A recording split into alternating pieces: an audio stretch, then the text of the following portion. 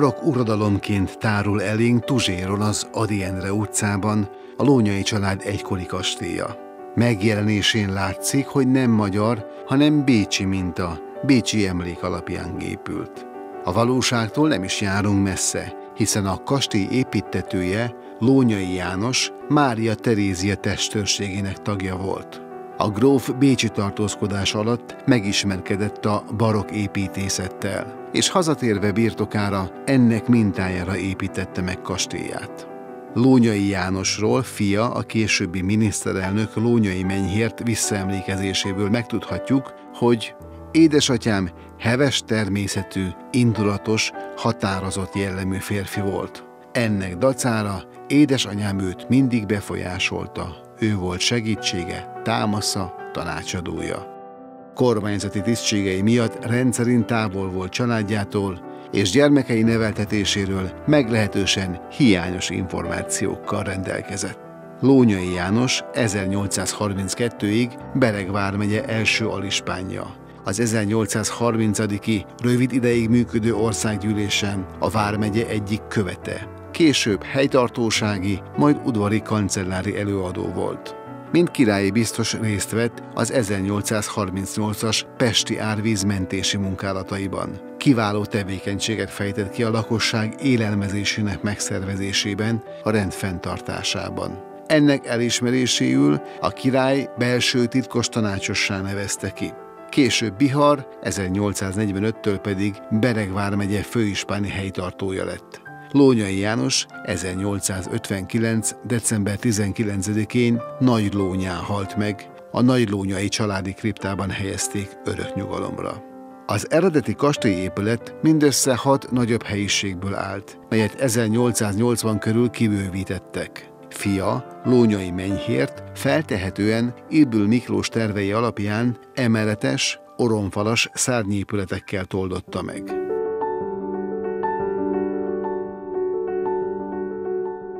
A kerti és az utcai homlokzat tagozatai neobarok részletformákat kaptak, így az épület eredeti barok megjelenése eklektikusra változott.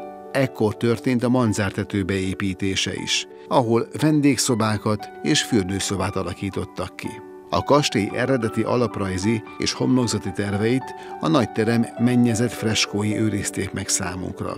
A kastély legérdekesebb része a díszterem freskója, amelyet az eperjesi származású Bécsi Akadémián tanult Wurzinger Mihály készített 1797-ben. Falait perspektívikusan megfestett oszlopokkal tagolta. A szemközti fal felhőjén ül az építető Lónyai János óbester piros színű testőri díszruhában, zsinóros mentével. Fején hatalmas föveget visel. Mögötte haditrófaják, ágyúcső, kard, lándzsa, dob és zászló látható. Kezében egy üllő oroszlán hátához támasztott tekercset tart, amely a kastély parkját és kerti homlokzatát mutatja. A hazai festészetünkben ritkaságnak számító ábrázolási mód a tervező és az építető alagját is megjeleníti. A portik elrendezése talán tudatos volt, mely egy tükör segítségével lehetővé teszi, hogy a két portré egyszerre legyen látható. A hagyományok szerint Wurzinger állítólag műveinek szignálása közben zuhant le az állványról, és itt lelte halálát.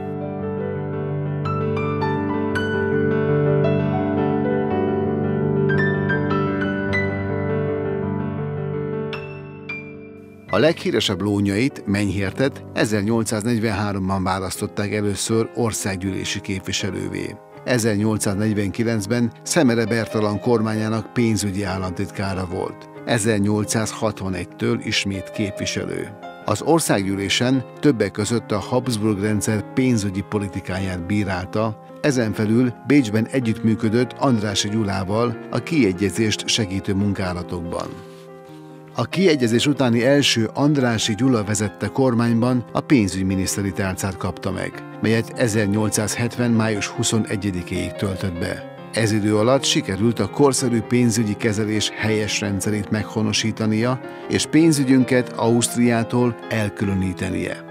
1870. május 21-én közös pénzügyminiszteré nevezték ki, és székhelyét Bécsbe tette át, ahol megnyerte az uralkodó kegyeit, a királyi ház bizalmát és a királyné szeretetét. Első Ferenc József 1871. augusztus 3-án grófi rangra emelte. 1871 végén a közös külügyi tárcát átvevő Gróf András Gyula után miniszterelnök, de 1872. december 2-án kénytelen volt lemondani a miniszterelnökségről. Parlamenti helyét megtartotta, 1877. februárjában a költségvetési vita alkalmával tartott utolsó nagy parlamenti beszédet.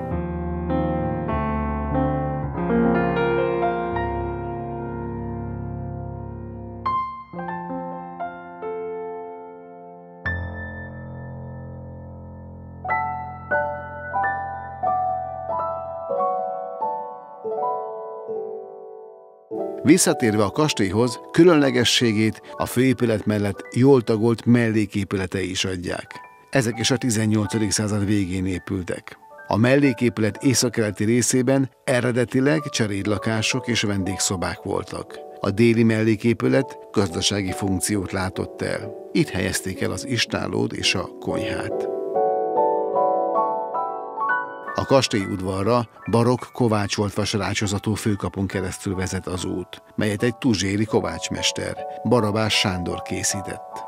Az eredetileg közel tíz holdas, egészen a Tiszapardig nyúló, a kor divatjához igazodó angol parkot a kastély építésével párhuzamosan alakították ki. A kastélykertben, a mai futballpálya helyén teniszpálya állt.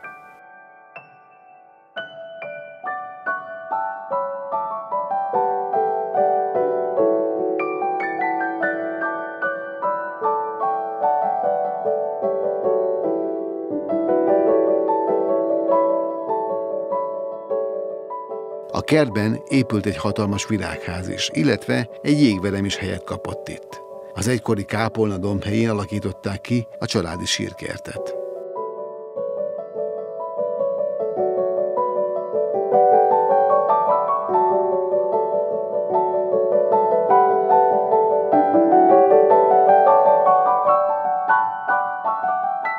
Kastélyt a háború után rövid ideig még üdülőnek használták, de azután fokozatosan tönkrement. 1947-ben a kastély állami tulajdonba került.